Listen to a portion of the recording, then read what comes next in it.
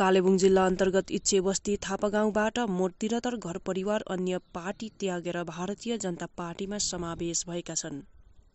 Bharatiya Janata party Kalimpong जिल्ला महासचिव सञ्जय विष्टको विशेष उपस्थितिमा सम्पन्न समर्थन कार्यक्रममा जिल्ला युवा महासचिव राजु थुलुङ राई उत्तम सिंह सुमन राई साथै दीपक छेत्री पनि उपस्थित रहेका थिए।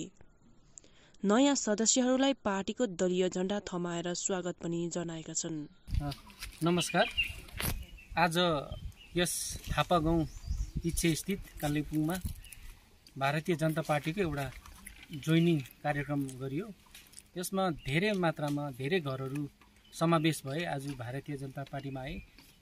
यसको नेतृत्व हाम्रै यहाँका गाउँका भाइहरू साथीहरू सुमन दिपक अन्य अन्य साथीहरूले गरेका थिए।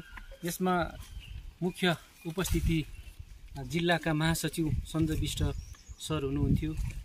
त्यसरी नै हाम्रा अब्जर्भर डिस्ट्रिक्टका उत्तम सिंहज्यू पनि हुनुहुन्थ्यो। र सबैजनाले गाउँलेवासीको परामर्श गरेर एकअर्कामा बातहरू पनि राख्यौँ हामीले यहाँको कुराहरू पनि बुझ्यौँ। विकासदेखि वञ्चित भएको कुराहरू हाम्रा गुरुआमाहरूले पनि राख्नुभयो। यो कुराहरू लिएर अनि नयाँ विकास गर्ने हेतुले सबैजनाले अब फेरि हामी भारतीय जनता पार्टी पाहाडमा ल्याउनुपर्छ भन्ने कुराहरू राख्यौँ अनि म यो मिडिया मार्फत तपाईँहरूलाई जानकारी पनि दिन चाहन्छु।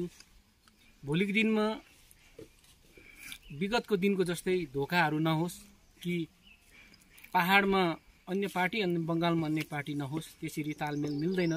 हामी देखिरहेको छौँ आज जुन प्रकारले यहाँ अन्य खेमा अन्य दलहरू सङ्घर्ष गरिरहेको छ। काहीँ न काहीँ यिनीहरूको पनि सोच त त्यही छ कि हामी जितेर बङ्गालकै दलसँग जो सत्ताधारी हुन्छ उनीहरूसँग मिल्छौँ भन्ने सोच बनाएको होला। त्यसले गर्दाखेरि नेपालीमा एउटा राम्रो खालके उखान छ।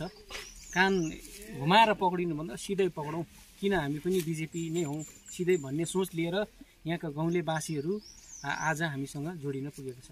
धन्यवाद।